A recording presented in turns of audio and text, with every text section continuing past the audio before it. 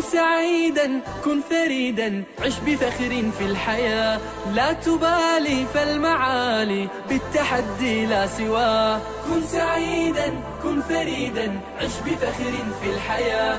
لا تبالي فالمعالي بالتحدي لا سواه بالتحدي لا سواه Program malam ini adalah sebagai pencetus permulaan hijrah kita. Kerana tajuknya hakikat hijrah yang sebenar. النفس ولا تحيا هباء يا ربيعا أنت والعطر الرداء. خذ قرارا وانطلق لا تنتظر. ليس كل الناس أهل للعلاء. خذ قرارا وانطلق لا تنتظر. ليس كل الناس أهل للعلاء. ليس كل الناس أهل للعلاء. Kadang-kadang Ustaz Asli baca ayat silap dan tu tak tegur. Sebab apa? Dia meraih dulu. Habis-habis dia tegur. Tadi baca Al-Quran tadi silap balik sikit. Eh, Dia menghormati.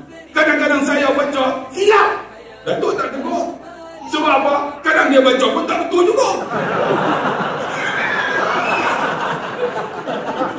Eh janganlah kita nak gaduh-gaduh tu. Hanya benda-benda macam ni. Sebab apa? Dia akan merugikan. Itu sebabnya ukhuwah sangat penting. Persahabatan sangat penting. Baru kita akan dapat membawa momentum hijrah yang diajar oleh Nabi sallallahu alaihi wasallam. Macam mana Nabi menghadapi makanan? Jawab tak? Kana Nabi inishtahahu akalahu wa in karihahu tarakahu.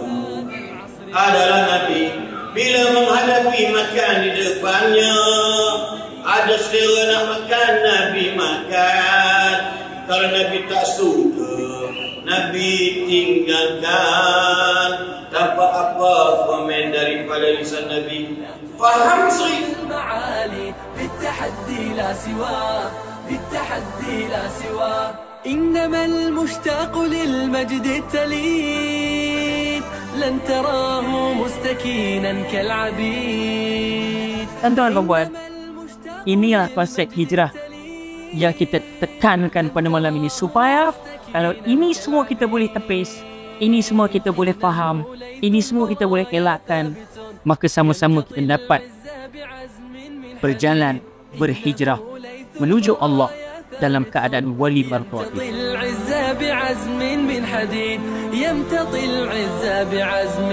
حديد.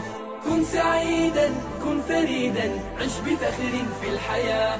لا تبالي فالمعالي بالتحدي لا سواه كن سعيدا كن فريدا عش بفخر